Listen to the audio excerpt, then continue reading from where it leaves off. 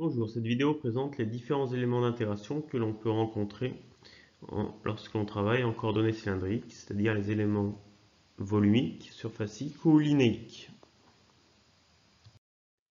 Tout d'abord, pour paramétrer la position d'un point dans l'espace par des coordonnées cylindriques, nous avons vu qu'en coordonnées cartésiennes, il nous fallait trois longueurs, donc x, y, z, pour paramétrer la position du point M.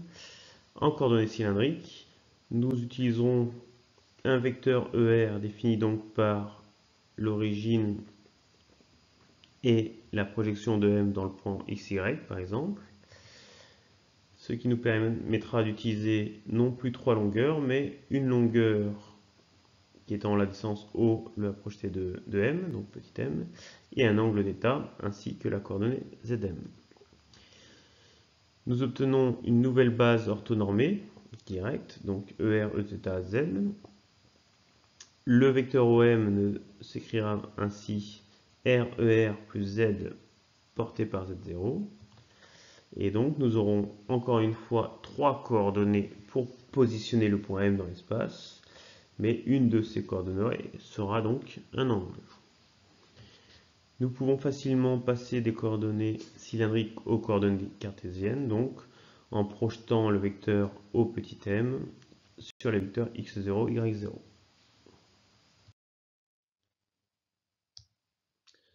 Nous utiliserons les coordonnées cylindriques pour paramétrer la position d'un point appartenant par exemple à un solide ayant une symétrie de révolution comme un cylindre, un cône, Donc ici pour le cylindre, nous avons donc défini trois plans de symétrie et nous pouvons donc utiliser une base liée à ce cylindre permettant donc de positionner le point M dans le cylindre avec les trois coordonnées donc R, θ et ici YM. Nous pouvons utiliser les coordonnées cylindriques pour paramétrer la position d'un point sur une surface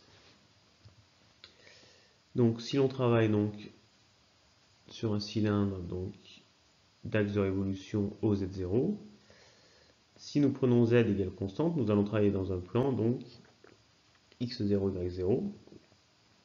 La position du point M sera paramétrée non plus par deux distances, mais par une longueur et un angle, donc R et θ, en définissant donc le vecteur ER étant le vecteur OM. Si l'on prend maintenant θ constant, nous allons travailler dans un plan ERZ0, ou plutôt Z0ER pour le définir directement. Et nous utilisons donc deux paramètres qui sont les deux paramètres de longueur, donc R et ZM. Et ensuite, si nous prenons R égale constant, nous allons travailler non plus sur un plan, mais sur une surface cylindrique de rayon grand R et pour positionner le point M, donc nous utiliserons les deux paramètres Zm et θ. Enfin, si nous voulons paramétrer la position d'un point sur une dimension, si nous prenons R et θ constants, il suffira donc de faire varier Z pour positionner le point M, qui sera donc positionné sur une ligne rectiligne. Si nous prenons θ et Zm, M sera positionné sur le vecteur R et donc variera sur encore une fois une ligne rectiligne. Et maintenant, si nous faisons varier θ en gardant R constant et Z constant, le point M va évoluer sur une ligne donc circulaire et nous utiliserons le paramètre θ pour le positionner.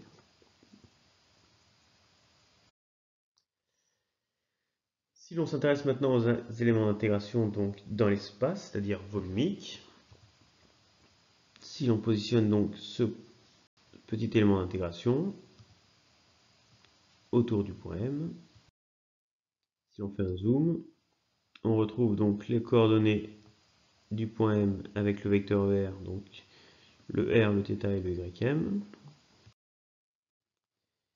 Pour obtenir cet élément d'intégration, nous faisons varier y autour du point M, nous faisons varier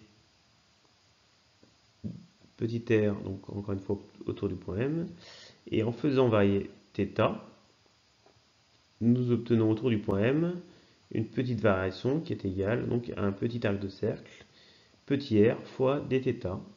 Nous obtenons ainsi un élément volumique d'intégration égal à r dθ fois dr fois dy.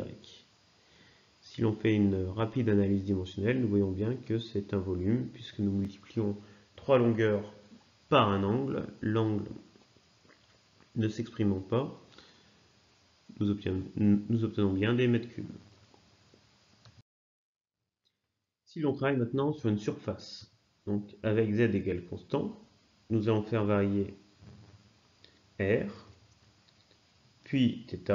La variation de θ va nous donner un petit arc de cercle r fois dθ. Et donc la surface obtenue aura pour dimension r dθ fois dr. À θ constant, donc nous travaillons dans un plan donc z0r, on pourra faire varier donc z et r, et nous obtenons une surface donc égale à dr fois dz. Et enfin, à r égale constant, donc nous travaillons sur une surface cylindrique. Si nous faisons varier donc dz, nous obtenons un petit élément linéique. Si nous faisons varier θ, nous obtenons un petit arc de cercle, donc r, donc le grand R constant dθ, et nous obtenons donc un élément surfacique r dθ dz avec r constant. Et enfin, si nous travaillons donc en une seule dimension, si nous travaillons donc sur l'axe z, notre élément d'intégration sera notre petit dz. Si nous travaillons donc sur l'axe ER, notre petit élément d'intégration sera donc petit dr. Et ensuite, si nous travaillons donc sur un élément qui sera un arc de cercle de rayon r constant, en faisant varier θ, nous obtiendrons un petit élément donc linéique r dθ. Je vais vous présenter maintenant l'utilisation de cet élément d'intégration volumique pour calculer le volume d'un cylindre. Donc notre cylindre ici est caractérisé par sa hauteur h et son rayon inventaire. Lorsque l'on paramètre notre système, nous allons utiliser donc les plans de symétrie de notre cylindre pour positionner notre repère particulier. Le point M sera donc paramétré par les deux distances R et YM et l'angle θ. Pour parcourir l'ensemble du cylindre, il faudra faire varier Y entre moins h sur 2 et h sur 2, R entre 0 et grand R, et θ entre 0 et 2π. Nous pourrions aussi Imaginez faire varier petit r entre moins r et plus r et θ entre 0 et pi. Pour calculer le volume de notre cylindre, il nous suffit de faire donc la somme des petits éléments volumiques donc autour de notre point courant M sur le domaine, c'est-à-dire la somme des R, dr, dθ, dy en faisant varier donc nos trois euh, coordonnées entre les bornes que l'on a définies précédemment. Lorsque l'on commence à intégrer sur R, on va voir apparaître un R carré sur 2, compris entre 0 et grand R. Puis ensuite, en intégrant sur θ, comme R carré sur 2 est constant, on aura juste θ qui va intervenir entre 0 et 2π.